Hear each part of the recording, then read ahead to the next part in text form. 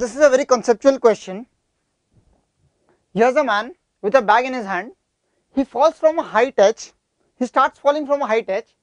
When he reaches a height small h from the ground, he realizes that the ground below is very hard. So you, he sees a point pond nearby at a distance x from the line of fall of the man. So he decides to throw away throw away his suitcase in the opposite direction so that he falls in the pond. He's a very intelligent person and he knows a little bit of physics due to which he knows that he can do it. So the question is with what minimum horizontal velocity should he throw the bag with respect to himself on the other side so that he himself falls in the pond. The second part of the question is where does the bag land? So let us solve this question. For the first part, the man falls, free falls a height h minus h.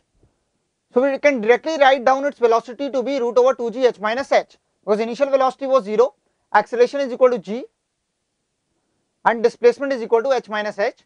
We get the final velocity by v square is equal to u square plus 2 as to be root over 2g h minus h. So the final velocity that is the velocity at this point of man is root over 2g into h minus h. Now when the man throws the bag, he is already going down, down with velocity v. Now he throws the bag relative to himself with a velocity v dash. He throws the bag with respect to himself horizontally that is v dash. Now the velocity of this bag with respect to ground will be velocity of this bag with respect to man plus velocity of man with respect to ground that is v. Now in this process this man also acquires a velocity v double dash on the right side. This has to happen because when we consider this system of man and bag, there was no horizontal force acting on this system in the horizontal direction due to which the momentum of the system of bag and man in the horizontal direction should remain conserved because momentum in the horizontal direction can change only due to a force in the horizontal direction. So because of a lack of force in the horizontal direction, we can conserve the momentum of these two objects. Initially they were falling in the vertical direction, so the initial momentum of these two in the horizontal direction was 0. So the final momentum has to be 0 again. So when this was imported a velocity in the in the left direction, man acquired a velocity in the right direction so as to balance the momentum. This bag is of mass m and this of mass m, so we get mv dash is equal to mv double dash. So we get a relation between V dash and V double dash.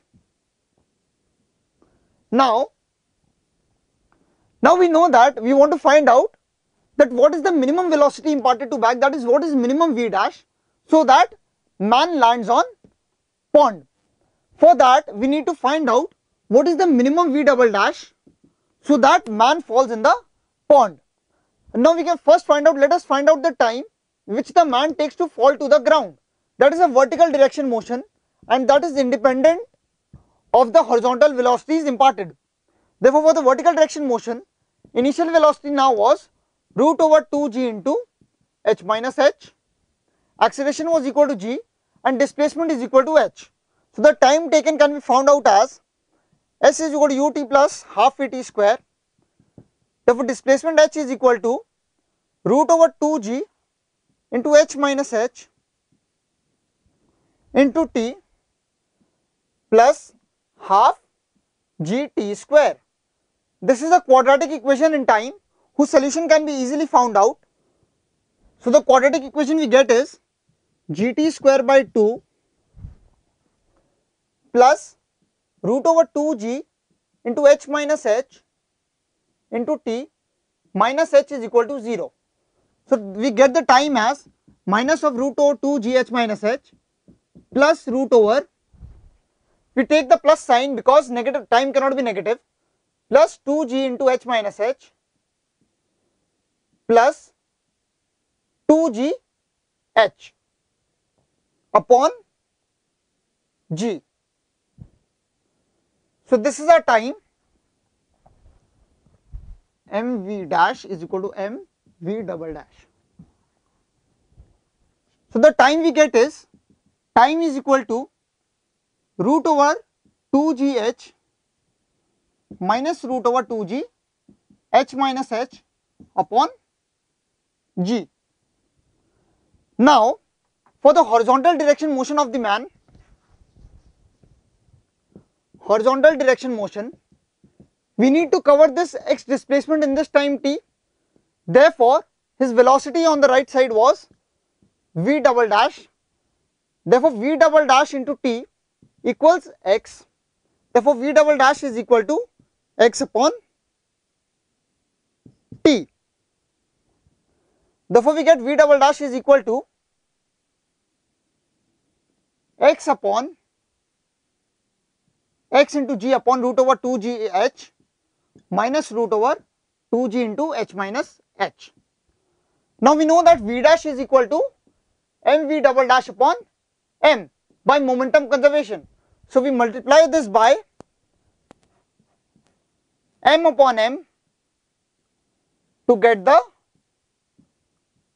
minimum velocity to be imparted to the bag by the man so that man lands in pond.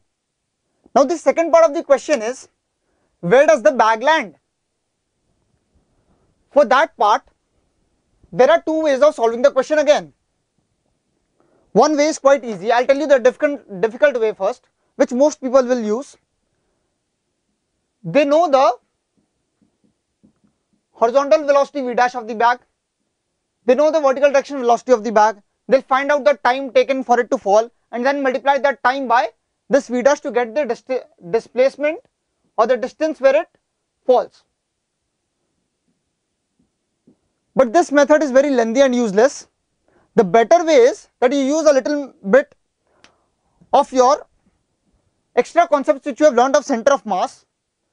Now for this system, there was no external force in the horizontal direction. So we again go about thinking about the sequence because we have been asked about displacement. So we again go that go over that sequence that when net external force is 0 then the acceleration of center of mass is 0 let this be the system. The net external force in the horizontal direction is 0 on this system. Therefore the acceleration of center of mass in the horizontal direction is 0 the initial velocity of the center of mass of the system in horizontal direction was 0 therefore the displacement of center of mass of this system will be 0 so when these two objects fall to the ground, when these two objects fall to the ground, this was the line of motion, man falls to the, to the pond. That is at a distance x. And this bag falls somewhere here. That is x dash. But we know that the total displacement of the center of mass should be 0. So, we write the displacement of center of mass equation. That is equal to m into x let this direction be positive plus m into minus x dash that is equal to 0 upon something we do not care about that. So, we get x dash is equal to mx upon m. So, this part we can direct, get the direct answer directly that the displacement of the bag or the, the position where the bag lands on the ground is at a distance of mx upon m from the line of fall. The answer to the velocity minimum to be imparted to the bag was m upon m into xg upon root over 2gh minus root over 2g h minus h. So, final answer stands as this is the velocity minimum to be imparted to the bag and this is the distance from the line of fall where, where the bag lands.